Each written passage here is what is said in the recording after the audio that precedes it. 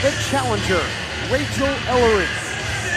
What a night it's been here so far at Opposites Attack. And what a night it continues to be as you watch.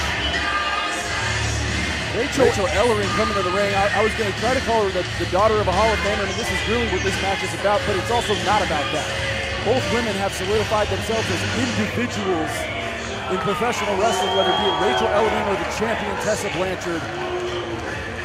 They've really made names for themselves, and the credibility that these women bring to the ring is, is, unlike anything we've ever seen. The women's revolution is absolutely alive, and it's right here in PCW Ultra. No doubt about it. And Ellering, an absolute powerhouse, a championship power lifter, in fact. Look for a lot of power gain from the challenger in this one.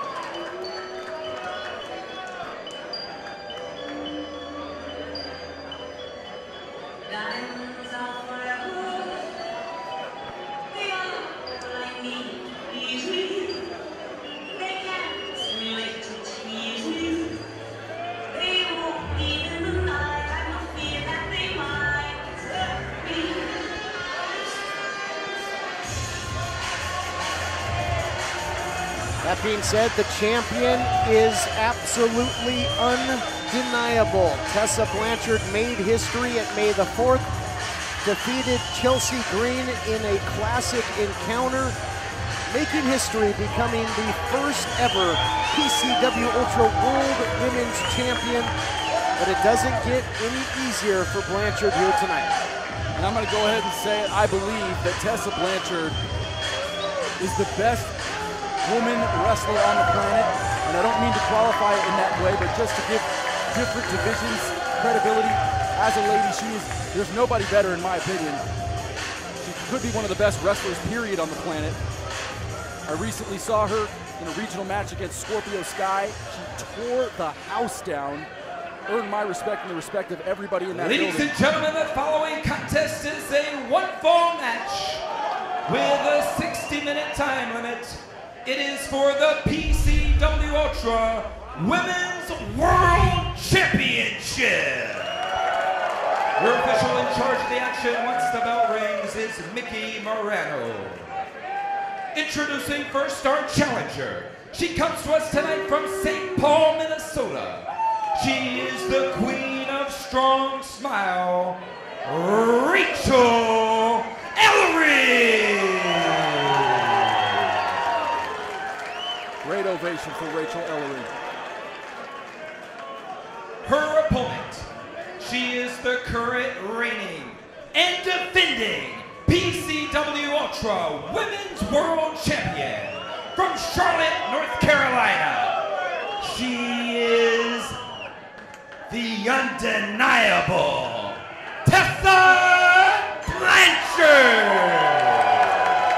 And she absolutely is undeniable, Todd. 60 minute time limit. I couldn't think of a better woman to take this PCW Ultra division. It's brand new. We just started it May the 4th. In her second match, she will defend this crown, and can she cement herself as the PCW Ultra Women's Champion? Blanchard's first title defense against a tough competitor, powerful competitor who was also born and bred into this business in Rachael Ellering. And yes, these two have stepped out of those shadows, but you can't deny that it is a strength as well. And Rachael Ellering, the daughter of the legendary manager Paul Ellering, who managed the likes of the Legion of Doom, and Ellering, a championship powerlifter, as I mentioned, looks to have the strength the likes of an Animal or Hawk. And on the other side, just pure pedigree when it comes to Blanchard, who made history, as you mentioned, overcame Chelsea Green in an incredible match, overcame the hot mess as well. But can she defend the gold? It's one thing winning the title, it's another thing putting it on the line and keeping it.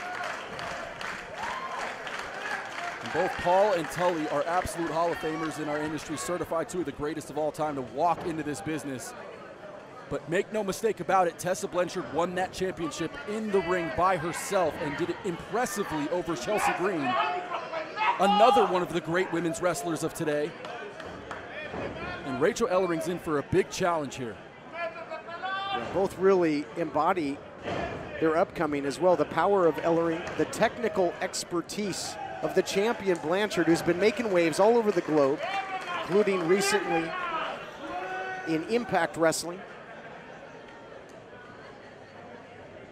Great uh, contingent Impact in the house tonight, including our main event later on tonight, PCW Ultra Heavyweight title on the line, the Steel Cage. Champion Penta El Zero Miedo defending against Sami Callihan.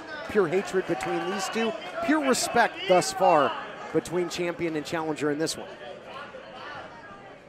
Ellering actually really digging that headlock in, but able to reverse is Tessa Blanchard. Feeling out process, these two competitors, champion and challenger, familiar with one another. They've done battle in the past. And Ellering has been an active competitor, a little bit shorter in duration than the champion Blanchard, but can make up for that in, pow in power to be sure. Nice takedown by Blanchard, looking for the early cover. And you look there, able to control the head and neck is Tessa Blanchard, and this is what makes her so great. I mean, she understands the wrestling business. She's able to work her opponent. Whoa, there, there's a great reversal by Ellery. Both women just really so impressive. Again, the first of four big title matches here tonight. Can Blanchard hold on to the gold? As we've seen here in PCW Ultra, it can be tough getting that first championship defense. It's a great the, point, Todd. In the first title reign of Penta El Zero Miedo, lost the title in his first title defense against none other than the Whole F'n Show, Rob Van Dam. Loss that he would overcome later on, successfully defending the title against RVD. Will history be made here in this one? Pace quickens. Nice leg trip there by the champion. Quick cover. And the other way. Beautiful sweep there by Blanchard. The bridge by the champion. The takedown by Blanchard. Back and forth. Great action with the World Women's title on the line. And a great respect being shown by the faithful. Yeah, these fans know great wrestling when they see it. They show the respect that these two women have earned. And Tessa Blanchard, I, I spoke with her earlier you know, she mentioned how important this PCW Ultra Women's Champion is. If you're the first of anything, well, that's first place, you know? Second place is the first place loser, Todd. Sure thing. Well, that's why they lace them up and go to battle. The power on display there, if attempting not, to go upstairs. If you're not first, you're last. Well, it, it, when the title's on the line, that is the case. Here you see the power on display by Ellering, but again, the prowess of the champion to get out of there Nothing pretty about that, but effective. And a nice shot there by the challenger. And Blanchard is trying to head for the hills. Tessa needs to recover on the outside, needs to get her wits here. Rachael Ellering getting some momentum, but beautiful. I absolutely love it. Tessa using that top rope to her advantage in for a cover. And that's that's the genius of the Blanchards, and specifically Tessa. With the hair hanging from the rope, you can Literally, see. yes. She, she, she's ripping the hair out of her opponent, using the top rope for an advantage. This is the kind of pro wrestling I grew up with. It's the kind that I like. Tully Blanchard, of course, used the ring, used all of his surroundings. He had that big slingshot suplex, put away countless, and now Tessa Blanchard using the top rope here, just raking the eyes of the challenger. Referee admonishing her for it, but you got a five count to work with. Tessa talking trash, too. Well, she's awfully good at that. Oh, right into that middle rope. But she can certainly back it up. Speaking of the champion, nobody home there. Some agility by Ellering. And again, right back to the power game. Out the back door. And I'll tell you, the champ is elusive. She is tough to get a hold of. She absolutely is, Todd. There's a reason she's PCW Ultra Women's Champion. In for that cover now. And two only, Todd. And when I think of all of the wrestlers past in the 80s and specifically in the 80s and maybe even into the 90s, it, there's such a toughness associated with pro wrestling that Tessa Blanchard and Rachael Ellering both bring to the table. Almost a variation of an Indian deathlock, and there you see it, that added pressure. Well, I'll tell you, Tully probably had some wars with Wahoo McDaniel back in the day. And Blanchard, Tessa Blanchard, that is, is such a great student of the game. can truly do it all. And I, I know I keep mentioning the power of Ellering, but you can't sleep on the power of Blanchard either. That's exactly right. And Tessa's certainly a student of the game, but she's become more of a almost a sensei in her own way with her knowledge of this business and her awareness inside the ring, her IQ to promote herself, to do everything she needs to do. There's a reason she's champion.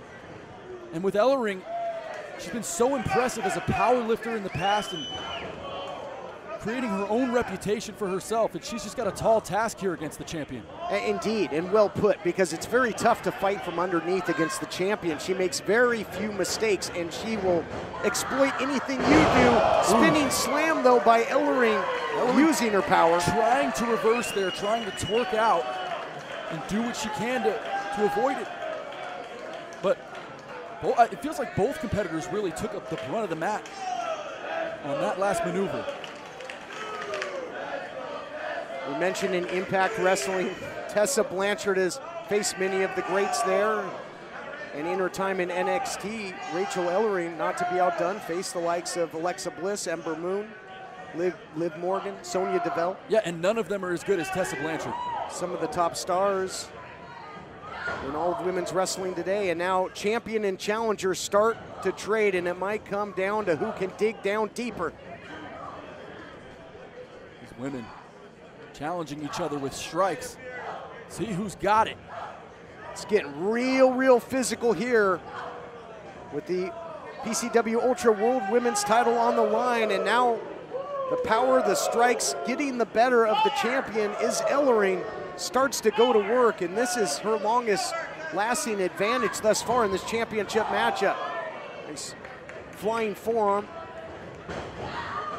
And again, doubling up. And the champ is rocked and in trouble. STO. Yeah, big trouble here, Todd. And oh, again with a spinning leg drop. Beautifully done. History to be made.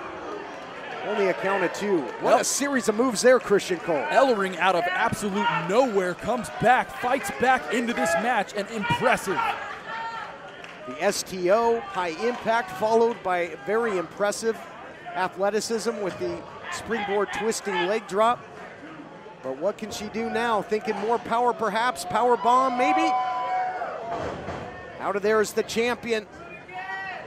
Boy, Tessa Blanchard, it's like she's underwater the way she can move, but not anymore. She's in deep water right now with the challenger. Ooh. Senton by Ellering, double hook of the leg. Champ kicks it too, wow. Wow, indeed. We saw that shades of Matt Riddle from earlier tonight. That senton using the rope to speed up her momentum and just dropping that senton all on the torso and solar plexus, taking the breath away from Tessa Blanchard. King of Bros was victorious in his debut. Will the same be said for Rachael Ellery? What a debut that would be, taking home the gold. That's exactly what Blanchard did last time out. If Matt Riddle's the king of bros, Rachael Ellering could be the king of go, but she just got hit with a code breaker. Oh my God, she was hung up in that rope, a terrible position to start for Ellering, and she got the worst of it. She loves that face buster. She refers to it as the Magnum. Named, of course, for one of her trainers. There's Tully Blanchard, but she was also trained by the legendary Magnum TA. And that usually does it, and it didn't in this case. And you can see the champion not looking quite as confident, Christian, thinking if the Magnum doesn't do it, what's it gonna take? Off the top now, nobody home. Both women back up though, Todd. Look at this. Oh, just power. Just bull rushed the champion, Christian. Grounded pound now from Ellering. We talked about the strikes and strength of Ellering. And she just tosses Tessa. Might just be too much power. Spine buster on delivery, gonna take home the gold. Beautiful cover, all the way down over the shoulders, but credit to the champion for finding a way to kick out. Just the effort for that cover can take so much out of you to stretch and bridge like that, putting all the weight down on your opponent. You're clenching all your muscles, trying to trying to hold someone down who doesn't want to be held down, who doesn't want to lose her PCW Ultra Women's Championship. Again, big strikes now by the challenger, who has really taken over this matchup with pure physicality. Oh, look out, out of nowhere! Beautifully done by the champion, digging That's down it. deep. No, it is not, sir. My God. And you could see Tessa frustrated as she just gave an incredible cutter out of absolute nowhere to Rachael Ellering, and it's still Ellering kicking out, displaying how important this PCW Ultra Women's Championship is. The timing was perfect. The impact, no pun intended, was perfect. But look at this uncertainty creeping in. Undeniable? Perhaps not. We're going to find out right now if she's unbreakable. She keeps going to high risk, putting herself in jeopardy, putting that championship in jeopardy. It's, it's not often that Tessa Blanchard is at a loss for what to do to put somebody away, and that is what the body language is telling me right now. The champion doesn't seem to have an answer for the power of the challenger. You can see that, that attitude in the eyes of Rachael Ellering. She said she's doing it for her heart here. Oh! Executes well here. It's a cover. And only two top. What a move there by the challenger. Thought it was going to be a superplex, but put a nice little twist on it, turned it into a sit-out power bomb, and not enough. You could feel the tension in this room.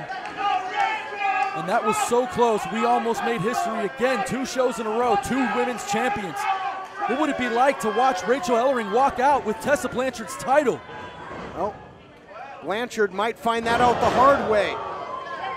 More high impact and now a sense of urgency by the champion. That blood is pumping hard and heavy through the body of Blanchard now. She's seeing red. Oh, the magnum off the top! How on earth did she capitalize and hit that? But she did.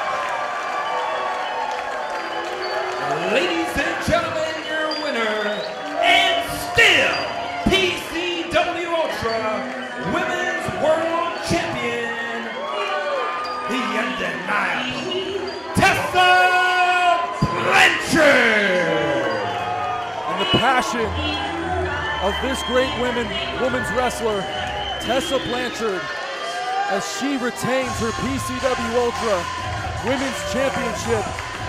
And she's feeling the effects, not only physically, Todd, but emotionally. What a night for Tessa Blanchard. What a night indeed.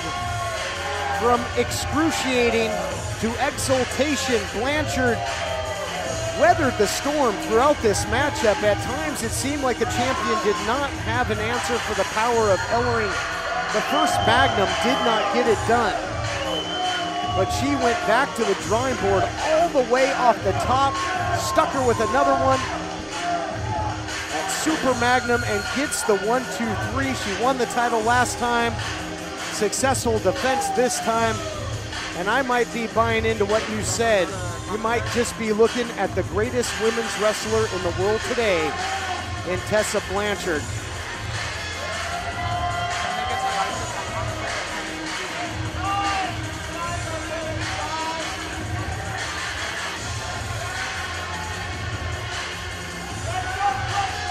And honestly, Todd, we got to give props to Rachael Ellering. What a tough competitor she is. When you go toe to toe with the best like that, proved yourself tonight, Rachael Ellering. You have you have something to hang your hat on, but tonight is Tessa Blanchard's night. Thank you for watching the Hannibal TV.